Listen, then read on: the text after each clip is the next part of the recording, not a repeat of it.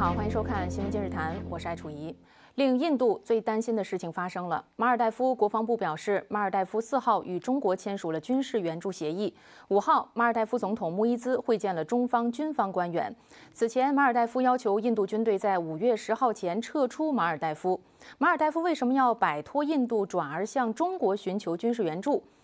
中国与马尔代夫签订军援协议包含了哪些内容？对于中国在印度洋地区有怎样的战略意义？另外，印度海军二号宣布，印度在距离马尔代夫一百三十公里的米尼科伊岛建立了一个新的军事基地。那么，印度为何要在马尔代夫附近的岛屿新建军事基地？印度的海军说，新建基地是为了加强对该地区的作战监视。印度海军究竟要监视谁？相关话题，今天邀请到了太和智库高级研究员、国际问题专家钱锋先生做分析和解读。首先，通过新闻短片了解一下相关内容。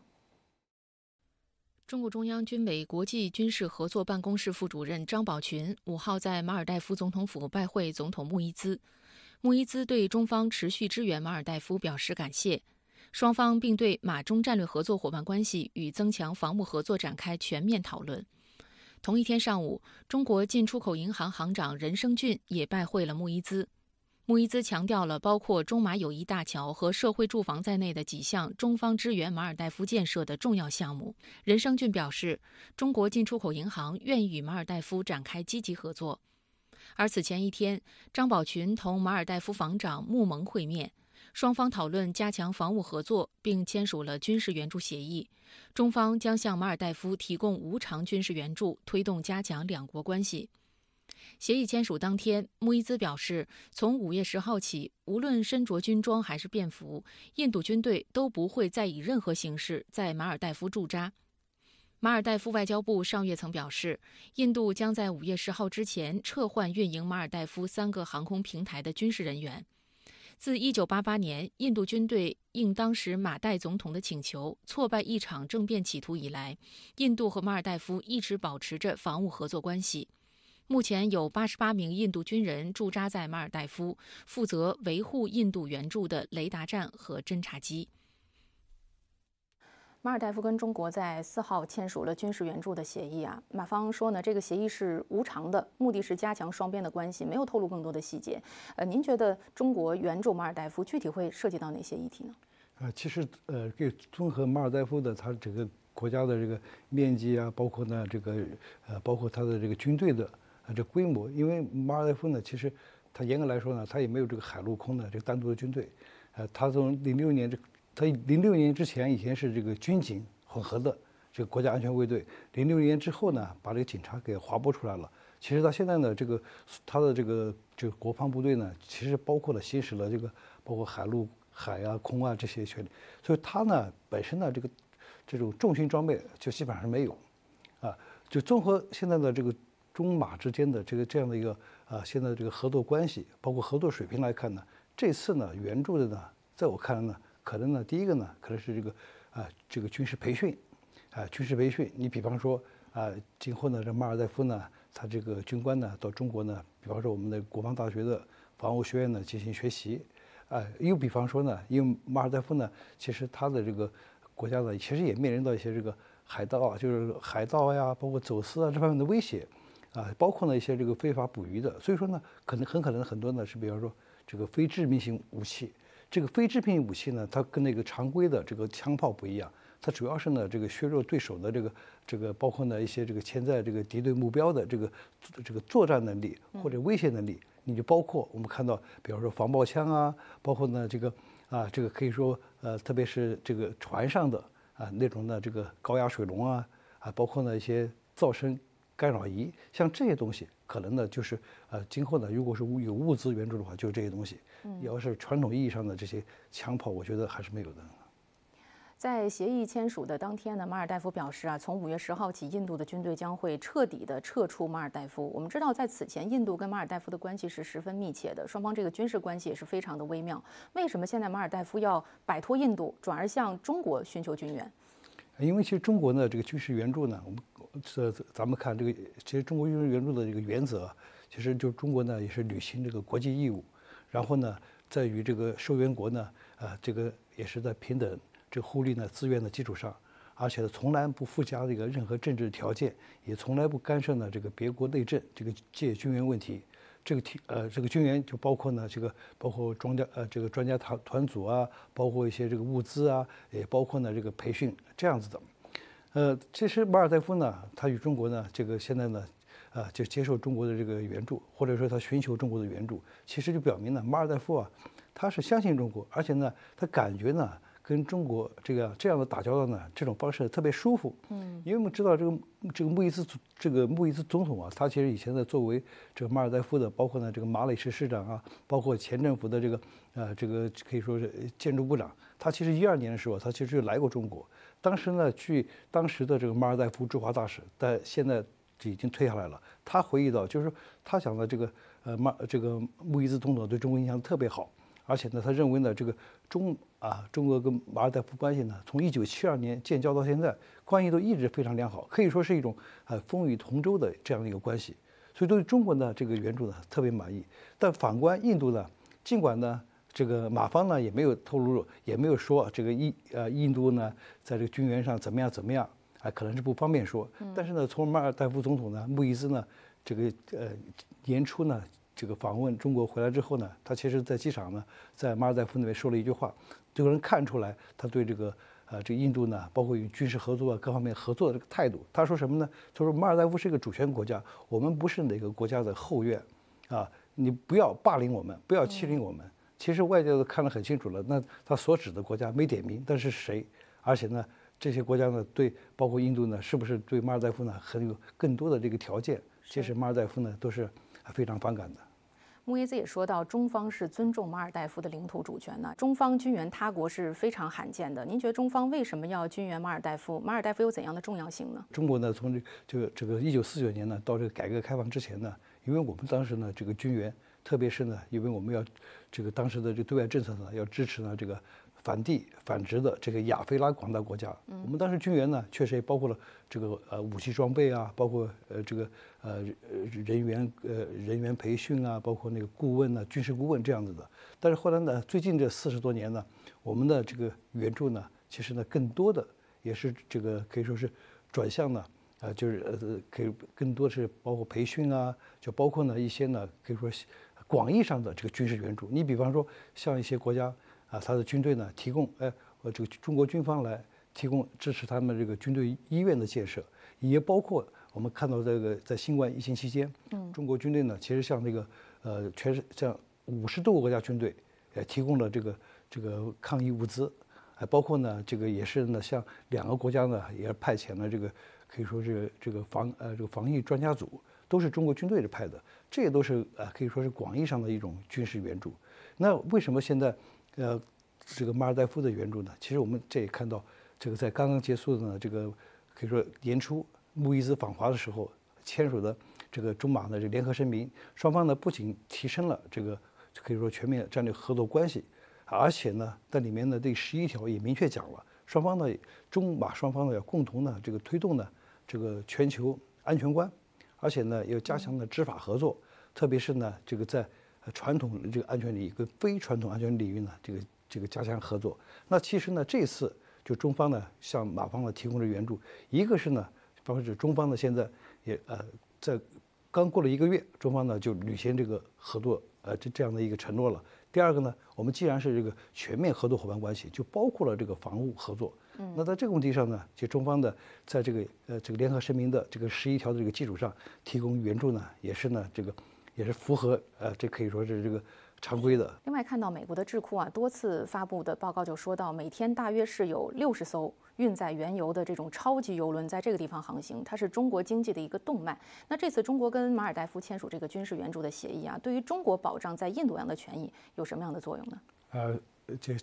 可以说具有的啊，可以深远的，可以比较深远的一个战略意义。因为我们看到呢，其实马尔代夫呢，它这个地理位置啊。它是这个有一千两百多个岛组呃组成的这个岛屿国家，嗯，但是它地理位置呢正好处于呢这个印度洋呢这个航线，我们看到是个无论是呢这个往西到海湾，包括呢从这个曼德海峡，然后经苏伊士运河到啊欧洲，包括呢向南经好望角到非洲，像那这样的呢，其实这个马尔代夫这个地理位置啊，就处于啊这种主要航线的一个交接点。它呢不仅是呢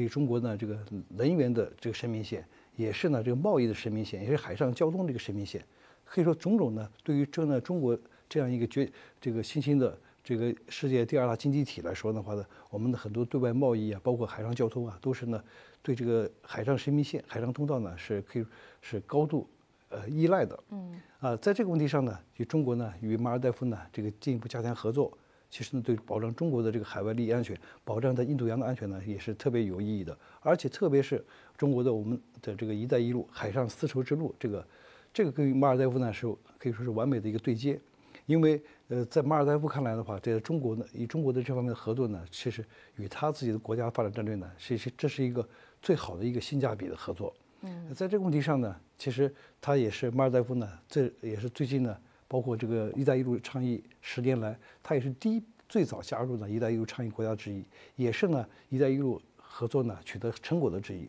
所以中马之间的合作呢，对于维护呢今后中国在印度洋，包括自己的海外利益呢，啊，在经济上，包括贸易上有很大的这个可以说很大的意义。此外，还有包括今后万一遇到的这些印度洋呢这些周边国家的，我们包括一些这个战乱呢，我们的这个海外撤侨啊，包括呢这个我们自己的安全利益的这个拓展啊，其实都是很大的帮助的。刚刚你也提到啊，马尔代夫在印度洋，包括印太地区都有着非常重要的一个战略地位。美国此前也一直想把马尔代夫纳入到它这个印太战略的一个整体布局当中。这次中方和马尔代夫签署这个军事援助协议，对于美国的印太战略会有什么样的影响？呃，其实刚刚呢，美国呢，他自己也发布了这个印太战略呢，这个两周年的一个回顾，它里面也提到了这个马尔代夫，因为呢，在呃，因为我们中国呢是反对这个美国的所谓的印太战略的，因为我们看到的这个美国的印太战略，它其实呢。呃，我们简而言之，其实就是五四三二一。五呢，其实就是我们讲的美国呢这个情报的这个五眼联盟。四就是四边安全机制。三呢，就是说美英澳啊这个奥克斯。然后呢，二呢，其实呢就包括它的很多的双边同盟。其实刚才三的话也包括了现在的美日韩呢这种同盟呢也在加强。一就是为了维护美国呢，其实在印度洋的，包括印太所谓的它印太地区的这样一个啊霸权地位。在这个问题上呢，我们中国是反对的，因为我们呢认为呢，它这个是在搞就封闭式的这个排他式的这个小圈子啊，搞这个所谓的这个伪多边伪多边主义，在在他这个布局中呢，自然像马尔代夫呢这种呢，在地理位置上处于比较关键的国家，也是被纳入其中的啊。但是呢，我们我们也知道，呃，这个美国呢虽然呢对这么多国家重视，但是它的力量呢，它既然都重视了，反而呢就意味着呢就都不那么很重视。所以说，他投入力量呢，也是都是比较分散的。他在马尔代夫呢，其实他自己也讲了，他去年呢取得了一个成就，定定美国呢能夸耀的成就呢，也就是开设了大使馆，啊，这也是美国去年呢在三个小国开设大使馆的其中的一个。嗯。除此之外呢，其实看不到更多的这这些合作。所以说，美国，呃，但是中国呢，如果与马尔代夫呢在这方面的。我们双边的这个互利合作，树立了这个大这个一个良好的这个大小国之间的合作的一个典范的话，会让更多的所谓他的美国所有的印太国家能看到与中国呢这个务实合作所带来的利益所带来的好处，让美国呢这个可以说是可以这样的进一步的让美国的这个印太战略啊，它的这样的一个啊排排挤中国的这个意图呢，可以说也是昭然若揭，可以让它也不攻自破。嗯。另外，我们看到，在此前啊，中方的科考船“向阳红三号”原本是要停靠在斯里兰卡港口进行一个补给的，但是遭到了印度方面的一个抗议，最终是停靠在了马尔代夫的港口。中国的科考船停靠在斯里兰卡，为什么印度的反应这么大呢？呃，事实上呢，其实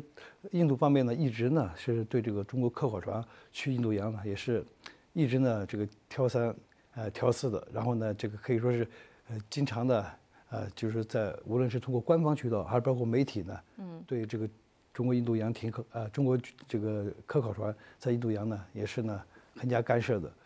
他呢，在他们看来，这个科考船，他想，他认为呢，狭隘的认为呢，这个中方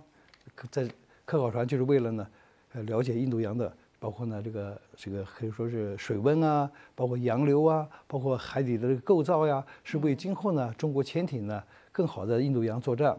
而且为中国的军舰呢，更好的在印度洋呢进行反潜作战做准备。其实呢，这都是呢，印度呢，对这个中国呢这种呢，可以说这段时间以来或者长期以来呢这种不信任或者这种警惕、这种防范的这个心态的这种表露。有句话说得好，就是说你心里是什么样子的，在镜子里看别人又是什么样子的。嗯，这对印度呢，其实就是一个很好的总结。所以印度现在是想把这个印度变成印度的样哈。好，先谢谢钱先生点评分析。下节回来继续带您关注，印度海军宣布在马尔代夫附近建立新的军事基地。印度海军说，新建基地是为了对该地区的作战监视。那么，印度海军究竟要监视谁？相关话题我们稍后继续，一会儿见。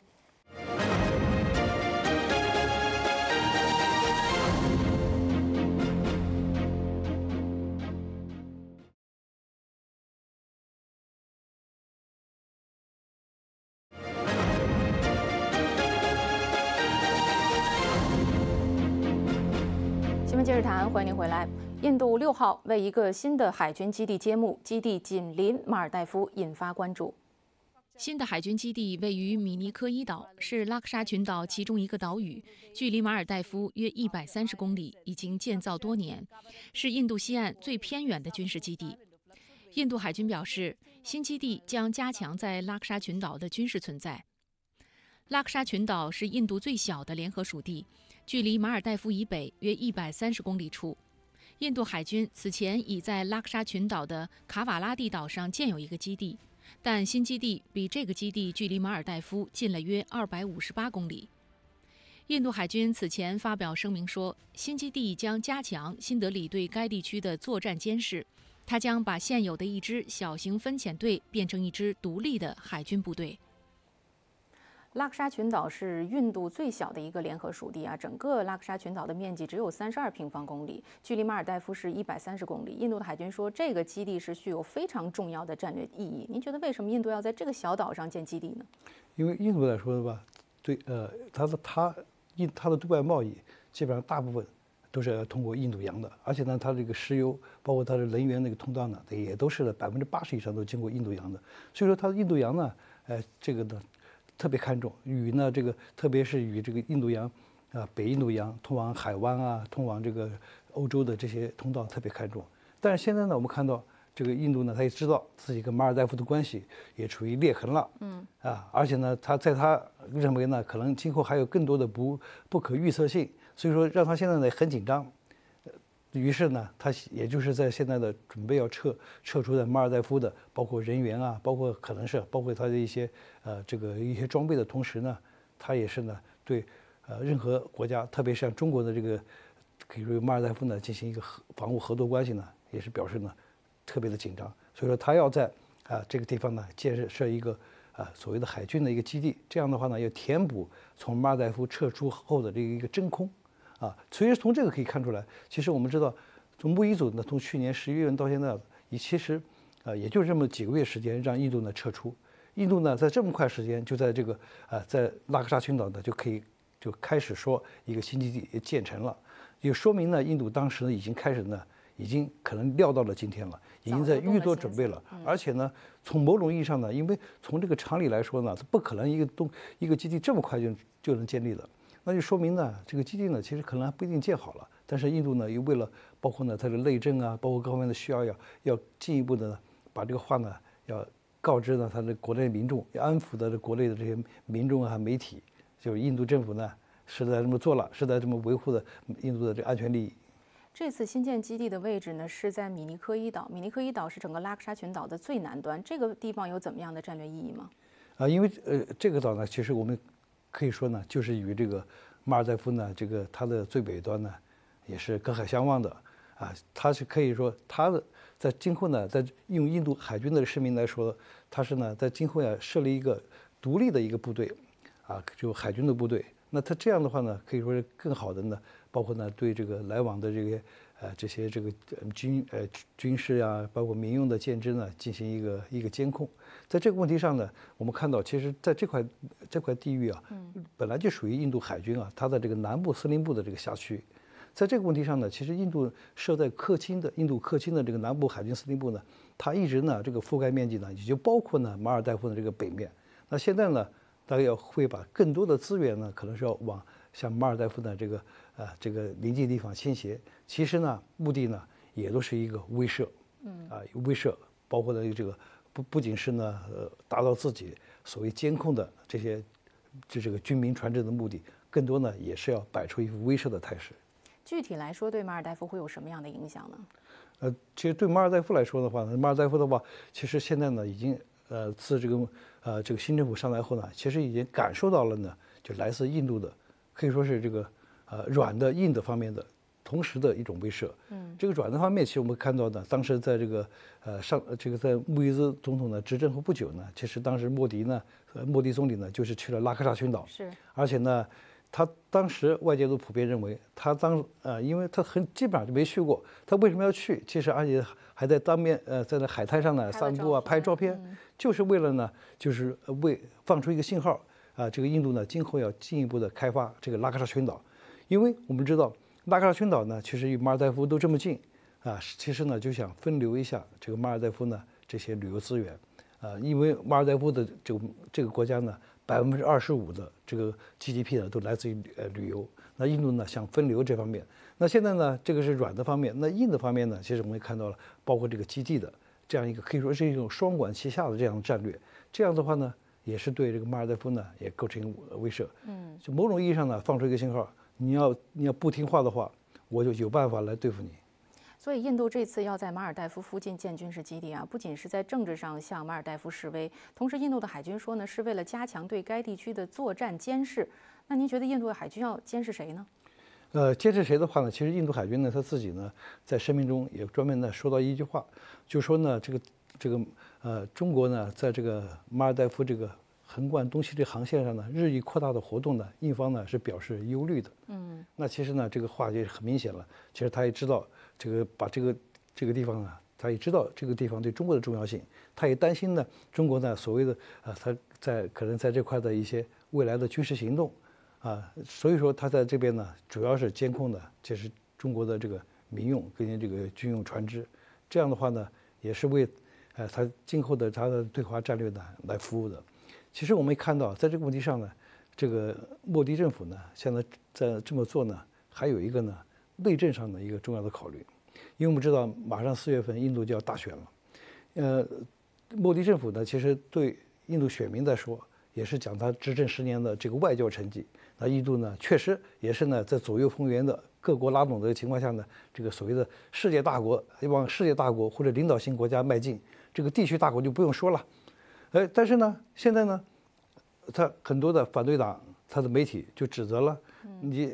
你既然你是这个世界性大国了，你居然连这个自己的周边的地区小国都都搞不定，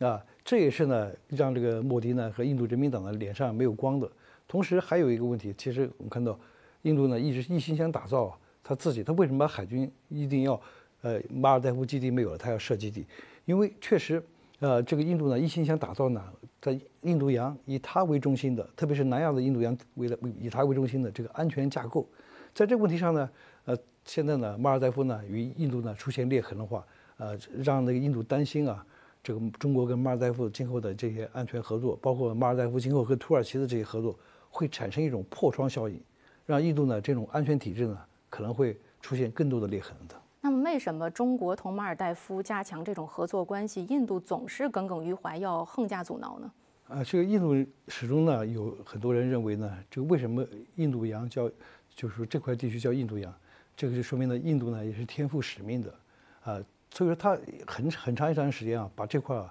北，特别是北印度洋地区，包括南亚地区呢，视为自己的势力范围。嗯。啊，他在势力范围里头，他不想任何的这个域外大国。啊，在这个介入这个这样一个势力范围，那现在呢，中国啊，现现在跟中国我们讲，中国跟印度关系呢这几年呢也并不好，